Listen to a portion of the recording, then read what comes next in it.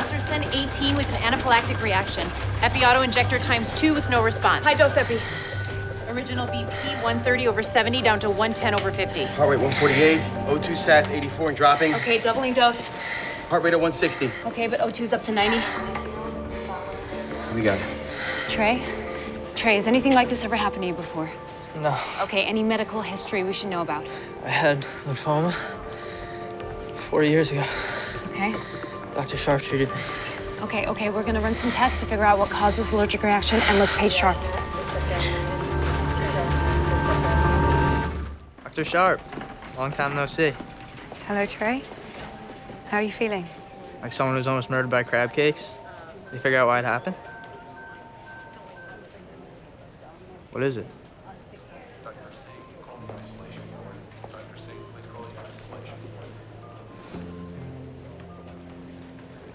Trey, I have some bad news. The newfound allergies that you have are from your lymphoma, which means that it's returned. So it's back to chemo? The cancer has spread too aggressively for chemotherapy. It's beyond anything that we can treat. But we beat it. You and me, you said we beat it. It's not fair, and it doesn't make any sense, and I'm so sorry. How long? Four months, maybe six.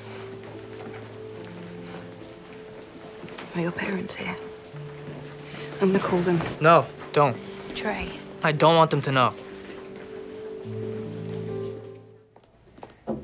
Have you got a minute? Oh, hi. Uh, yeah, actually, I'm, I'm glad you're here. Would you say that I have narcissistic personality disorder? Because the, the DSM says that people who are narcissistic are typically quite haughty. Is that uh, how you would characterize me, haughty? Just give it to me straight. Am I haughty? You know, I heard a really good hypothetical to tell if you're a narcissist. Good. What is it? If a colleague shows up at your office during the workday, do you assume they're there for a reason or just to hear you talk nonsense?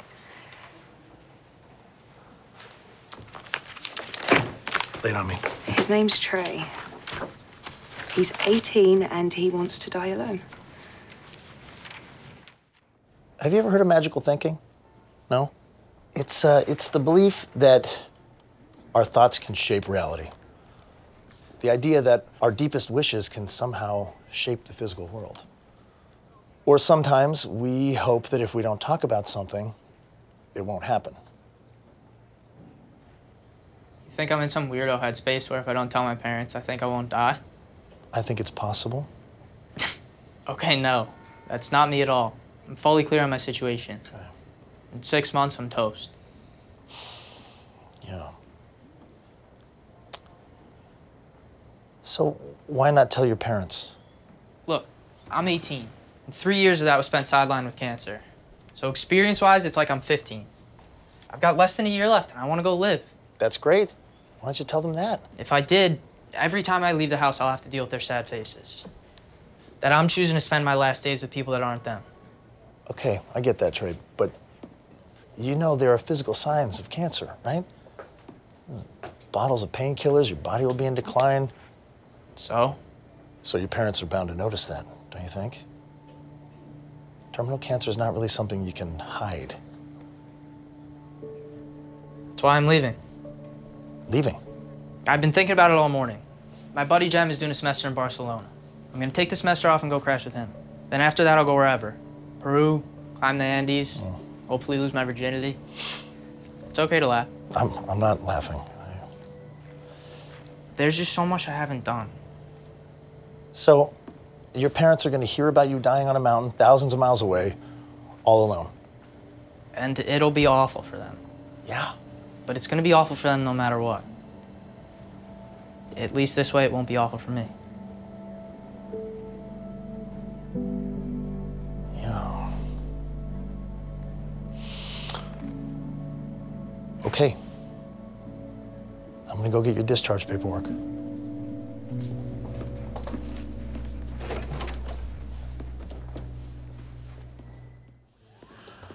Okay. For your discharge, my mountain climbing friend. Sweet. Go. Thank you. Yeah. So listen, before you leave, if you don't mind, I have one more shrink thought for you. What do you say about making a video for your parents? What kind of video? Well, when you leave and you say goodbye, your parents aren't going to know that that's really goodbye. So why don't you give them that gift, the real goodbye? And then when I receive word that you've passed, I will make sure that they get it. Yeah, seems like a good idea. Great. Okay, I'm gonna set this up. We'll get you off to Aconcagua in no time, my friend.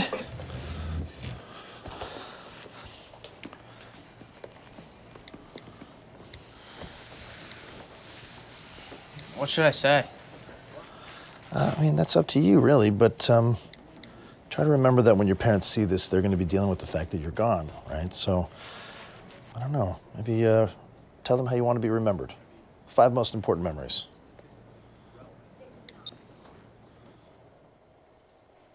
Hi, Mom and Dad. Hi. Uh, when you see this, I'll be gone. And uh, I thought you'd like to hear this message from me. Anyway, here are my five most important memories.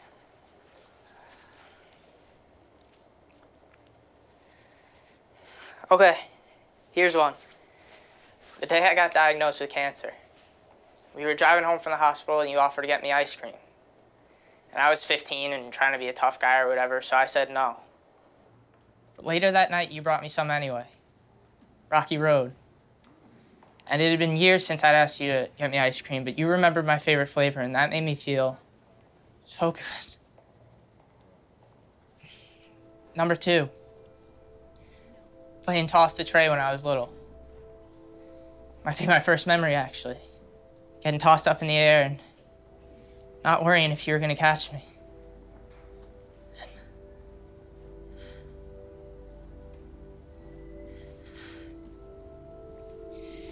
And, uh, and Thanksgiving.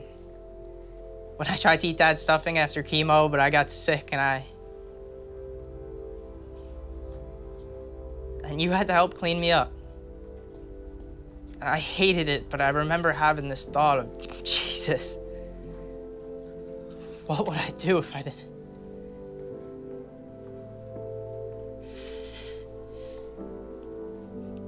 If I didn't have you?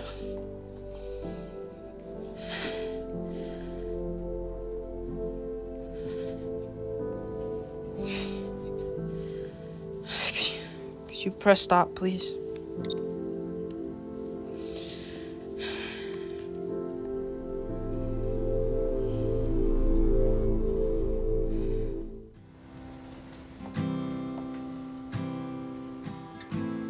How did you get him to change his mind? I didn't. I think Trey just realized that he can't finish his story without them. A year from now, we'll all be gone.